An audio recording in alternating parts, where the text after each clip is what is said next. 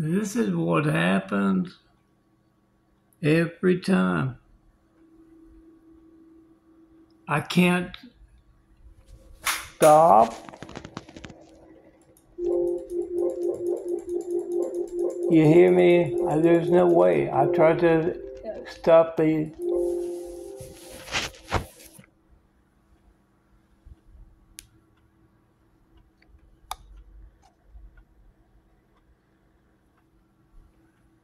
I try to stop it, it won't go.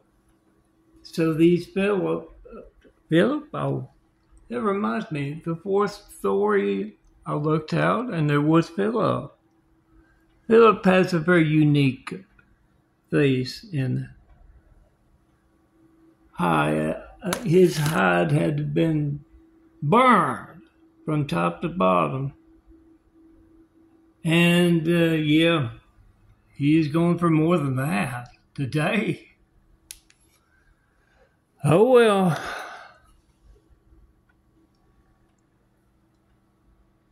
Congratulations, Philip.